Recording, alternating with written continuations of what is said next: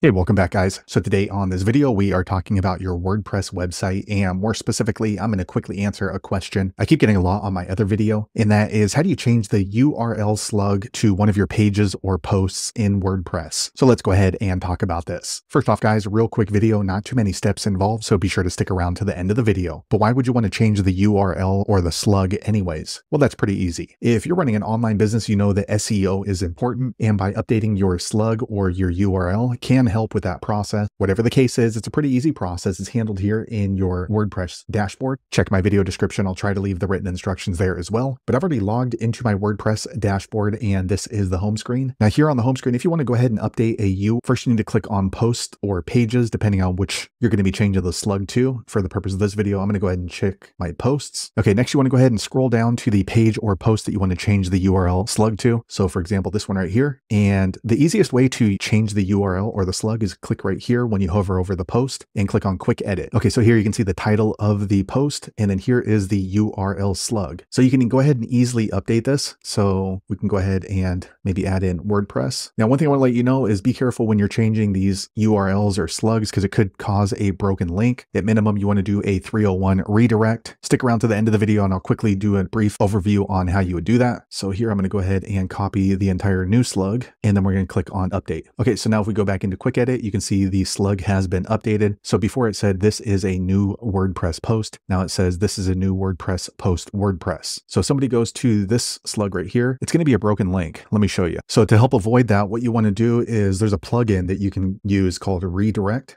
or redirection. So let me click on plugins. Okay. And then click on add new plugin. And then here on the search plugins, type in, okay, so here is the plugin that I use. You can see there's 2 million installations, four and a half stars. Once you have this plugin, what you want to do is over here on the left, go to tools. Okay. And then you want to go down to action. Okay. So once you do that, you can go ahead and set up a 301 redirect. So we would put in the previous URL right here. And then you want to put in the new URL right here. So this is going to be the new slug and this is going to be the old slug. Once you do that, click on add redirect. That way, if somebody goes to the previous URL or slug, like this one right here, it's going to go ahead and redirect to the new one. And you can test it right here and you can see 301 to, so there you have it guys. If you're wondering how to change the URL slug to one of your WordPress posts or pages, that's the easiest way I know how to do it. If you know an easier way, be sure to leave a comment below. Let the rest of us know how you did it. Hopefully you found that video useful. If so, click thumbs up or maybe consider subscribing to my channel and I hope to see you on the next video. Thanks again for watching.